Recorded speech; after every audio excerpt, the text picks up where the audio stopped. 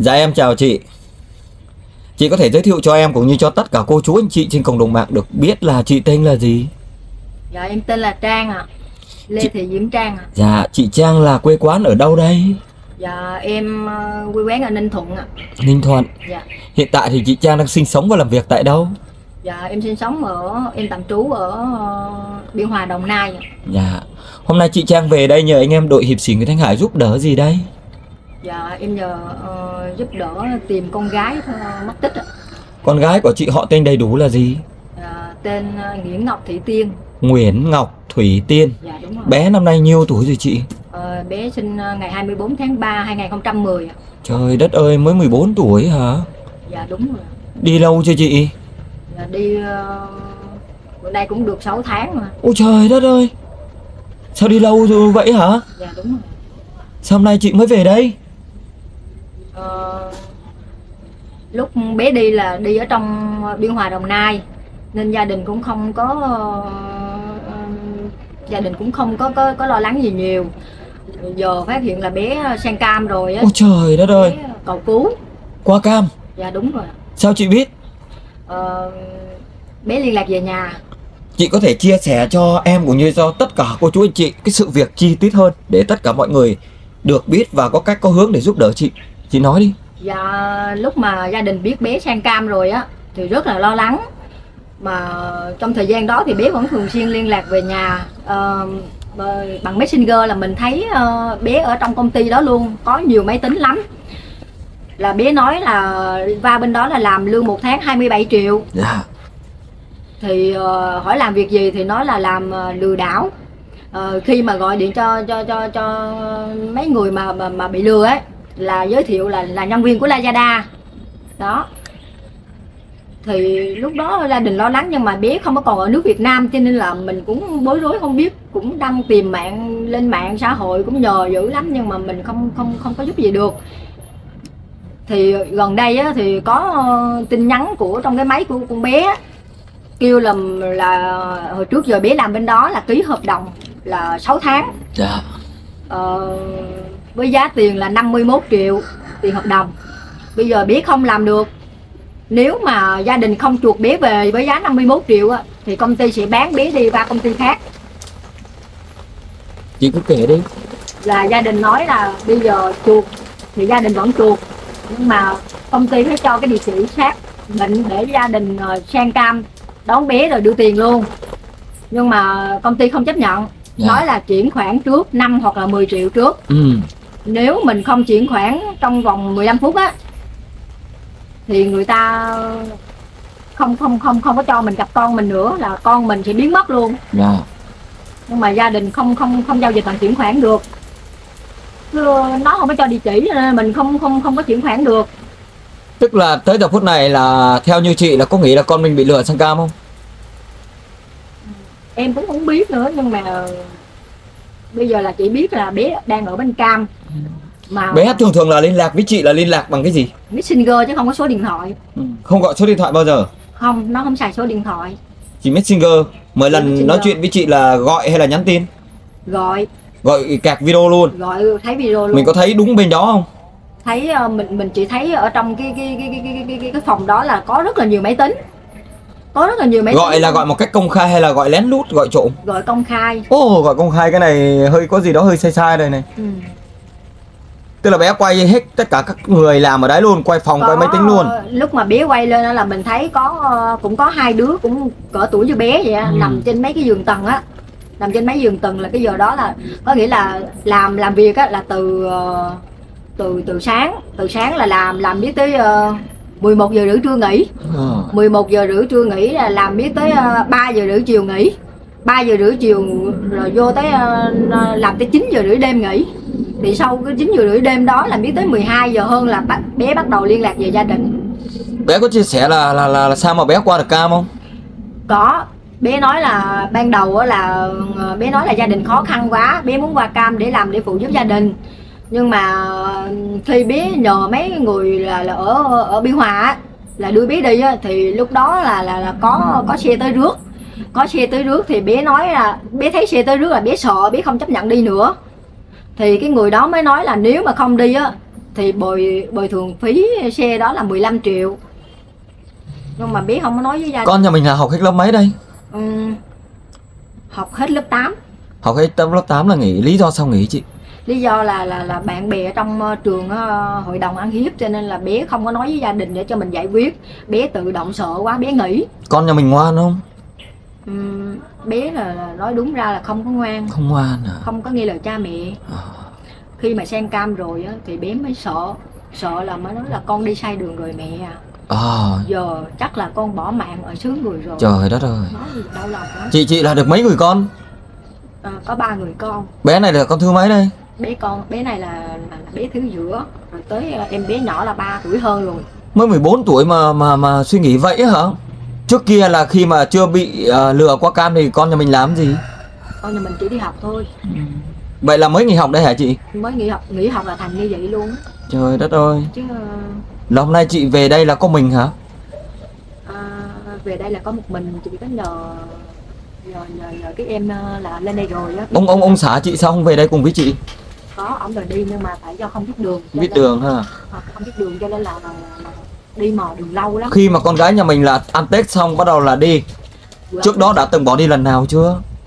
trước đó cũng đi lân cận bạn bè ở ờ, khu biên hòa thôi Là bỏ nhà đi luôn. dạ đúng rồi Đi bao lâu? đi cỡ tầm năm 10 ngày gì đó rồi Ôi trời đất ơi. rồi về thôi gia đình kiếm Mấy lần rồi chị? cũng vài ba lần rồi cũng Vài ba lần rồi. ừ.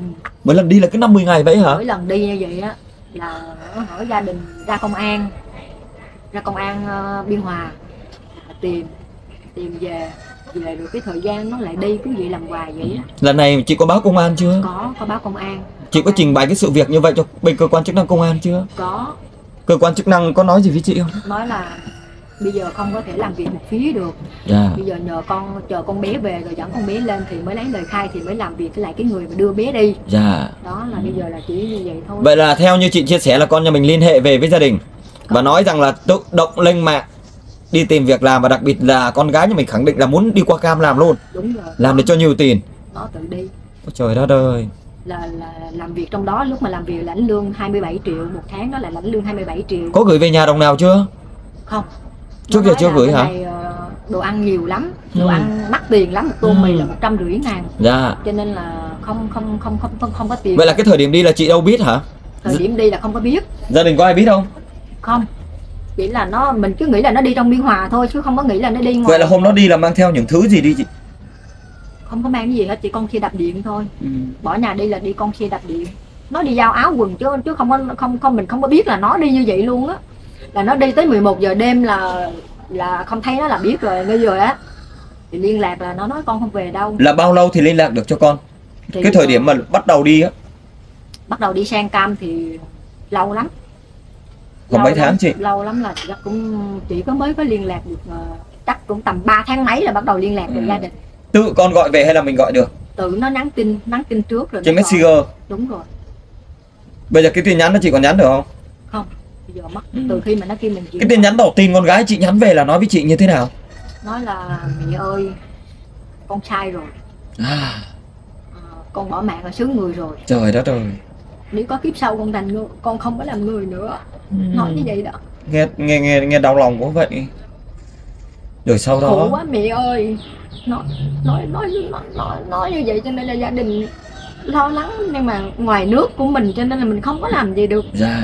Nói là nếu mà con đi trong nước Việt Nam con ở đâu mẹ cũng đem con về được. Nhưng mà con đi ngoài nước rồi là mẹ không không có giúp được. Nước cam là ngày xưa giờ mình nghe là mình sợ lắm rồi. Khổ quá trời đất ôi nhỏ xíu à? Mà lại bản thân là con gái nữa sao đây? Vậy là sau đó thì những tin nhắn sau là nói với chị toàn nhắn tin không hả hoặc là gọi video hả? Lúc mà nhắn tin kia kia chuyển khoản á thì nói là bây giờ mình cũng sợ là nó hack nick dạ. Mình kêu là bây giờ nếu mà muốn tôi chuyển khoản á cho tôi gặp con tôi trước đi. Gọi cho con tôi thấy mặt con tôi đi rồi tính tiếp. Dạ. Nó hẹn là tối nó hẹn là tối là là là nó sẽ cho gặp con mình nhưng mà tối nó không cho gặp nó không có cho gặp nó cứ kêu chuyển khoản. Nói là chú không đặt cho tôi lòng tin thì tôi không bao giờ chuyển khoản cho chú. Tại chú hứa là tối chú cho mẹ con tôi thấy nhau nhưng mà À. bây giờ chú không cho thấy là tôi không bao giờ chuyển khoản cho chú.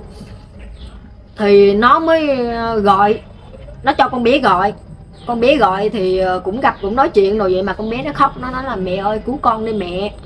Mẹ ơi cứu con hả? Nhưng mà kêu là bây giờ con gửi định vị đi con gửi vị trí thì mẹ sẽ cứu con được. Còn con mà không gửi vị có gửi không chị không? Ờ. Nó nói là nếu mà gửi vị trí á, mà bên kia biết được á thì không bao giờ sống nổi đâu. Dạ. Tại ờ, trong trong nhóm đó là có một bé á, là cũng gửi vị trí gửi định vị thì ờ, thì thì đại sứ quán vô. Dạ. Đại sứ quán vô nhưng mà cái khu của tụi nó ở là nó thuộc về là tự trị. Dạ. Đại sứ quán vô không được thì nó biết được con bé đó gửi vị trí thì nó đánh con bé nó dữ ôi lắm. trời đất ơi. Cho nên là giờ nó sợ nó không có dám gửi một chút Ừ. gì vị trí cho mình hết trơn á vậy là cái lần tin nhắn mới mới đây gọi mới đây là kêu mẹ là chuyển khoản để để để để chuộc Đúng con về nhưng mà rất nhiều cái trường hợp chuyển khoản rồi á nó lại lừa đảo nó lại không có thả con mình về thì đó nó cứ Khổ kêu lắm. chuyển qua đi rồi ờ, ờ, nó mở cổng cho con mình tự về còn Ừ. xe công ty đưa về mình nói là không gia đình muốn đi tận nơi để đón bé chứ không Dạ. không không có chuyển khoản được là nó không cho gặp hả không nó không cho nó nói vậy là cô nên lập một di, di ảnh cho cô ấy đi ôi trời đất ơi giọng đó là giọng giọng giọng miền nào con bé lúc mà còn liên lạc về gia đình nói là ông chủ của công ty đó là người Trung Quốc ừ. đúng rồi thì Người chắc Trung chắn Quốc. rồi còn số còn lại là người Hải Phòng người Bắc người Hải Phòng không chứ không có À. một người nào Campuchia hết á Ờ. còn trong cái cái, cái cái cái nhân viên làm việc đó thì có một số người ở Đồng Nai nhiều ừ. đó là nó nói rõ nói chung là tóm lại là rất nhiều người và tứ xứ chứ không riêng gì ở phải, phải Hải Phòng đâu. Thì nó nói người Bắc không à, mà chỉ có riêng biệt ông chủ công ty đó. Miền Nam miền Trung- Trung miền Bắc đều có hết. Khổ lắm thôi. Giờ à, giờ nếu mà cái sự việc mà đã như vậy rồi bây giờ chị chị chị chị qua như thế này là để làm gì đây? Giờ em cũng hay là chị chưa thể xác thực được là có phải bên đó không hay sao hay chị muốn như thế em nào cũng không có biết là chính xác là con em đang ở chỗ nào nhưng À. mà lúc như vậy thì chị nói là bên cam thì mình cũng hay bên cam thôi Ừ. chứ bây giờ mình cũng không biết như nào bây giờ em lên đây á, thì cũng nhờ đội hiệp sĩ của anh Nguyễn Thanh Hải tìm giúp em nhờ cộng đồng mạng tìm giúp con của em về với gia đình Dạ. Rồi chị hãy nói một cái điều gì đó tình cảm nhất với con đi. Bây giờ con ở phương trời nào thì cố gắng liên hệ về với mẹ một lần nữa để cho mẹ có cách có hướng để giúp con quay trở về một cách an toàn nhất hôm nay, mẹ lên nhờ đại- đội hiệp sĩ của anh Nguyễn Thanh Hải. Nếu con mà có nhìn thấy bài đăng, bài like của chú Nguyễn Thanh Hải á, mà con nhìn thấy mẹ như vậy á, là mẹ rất là đau lòng. Khi mất con, mẹ rất là đau lòng. Nên con thấy mẹ như này á, thì con làm ơn, con liên lạc về gia đình. Để mà mẹ còn có đường, mẹ nhờ mấy chú ở đây.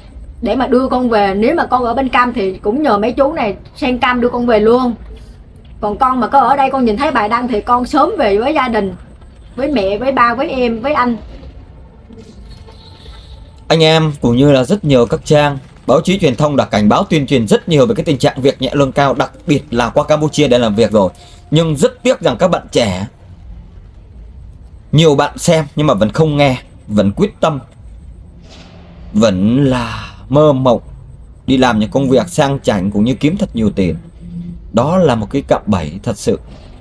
Không riêng gì con nhà mình đâu mà rất nhiều con gia đình nhà người ta sập phải. Rất mong rằng tất cả các bậc phụ huynh, bậc làm cha làm mẹ hãy tuyên truyền cho con em mình Tránh trường hợp các con em mình lên mạng tự ý tìm việc làm rồi sập bẫy việc nhẹ lương cao Để rồi à, nhận những cái kết thật sự rất là đắng Như câu chuyện của chị tới giờ phút này thì chị vẫn chưa chắc ăn là qua cam Nhưng mà phần trăm rất là cao dạ, đúng không ạ? Chị rất sợ không biết con mình bây giờ như thế nào Và cách hướng như thế nào để cứu con mình đây Đúng không ạ? Đó là cái Đúng điều rồi. thật sự rất đáng tiếc Nên rất mong rằng con gái tới giờ phút này con gái đang ở đâu đó Nếu thật sự như mẹ con chia sẻ là con bị sập bẫy qua cam Thì con thật bình tĩnh Con tìm cách con liên hệ về với mẹ Để mẹ có cách có hướng à, Bàn bạc cùng với anh em đội hiệp sĩ của Thanh Hải Để có cách có hướng để mà à, giúp con trở về Việt Nam một cách an toàn nhất nhé con gái Thì hôm nay chị về đây nhờ anh em quay phim ghi hình đăng tải lên khắp các trang mạng xã hội Với mục đích chính là tìm con Chị có đồng ý cho tất cả các anh em đăng tải video này lên khắp các trang mạng xã hội để tìm con gái mình không? dạ em đồng ý ạ. Toàn bộ câu chuyện sự việc chị vừa chia sẻ có đúng với sự thật không? dạ đúng rồi ạ Nếu có gì sai chị hoàn toàn chịu trách nhiệm trước pháp luật nhé. dạ đúng ạ. Dạ thưa cô chú anh chị Thật sự đây là một câu chuyện rất đáng tiếc Bởi vì bé còn quá nhỏ Sinh năm 2010 Năm nay mới 14 tuổi Mà Như chị chia sẻ rằng là con của chị Tự động đi tìm việc làm Và đặc biệt qua cam rồi cuối cùng sập bẫy người ta. Tới giờ phút này gọi về cầu cứu mẹ Và nó viết nhắn tin nói với mẹ Những cái dòng trạng thái Những cái lời tâm sự thật sự. Nghe rất là đau lòng. Mẹ ơi con bỏ mạng ở nơi xứ người. Nghe một cái mà cảm giác đau đau đau, đau lòng lắm cô chú anh chị ạ. Nên rất mong rằng tất cả các bậc làm cha làm mẹ hãy quan tâm các con mình hãy chia sẻ cho các con mình để tránh trường hợp gặp ra cái sự cố mà như con gái của chị đây. Thì đó là cái kết thật sự rất buồn cuối video em chúc là con gái của chị sớm quay trở về an toàn nhất và gia đình nhà mình sớm có cuộc đoàn tụ nhất chị nhá. Cố gắng chị nhá. Em hy vọng là một ngày gần nhất con gái mình sẽ bình an quay trở về nhá. Xin phép chào chị, em cũng xin phép chào tất cả cô chú anh chị trên cộng đồng mạng. Hẹn cô chú anh chị ở những video tiếp theo.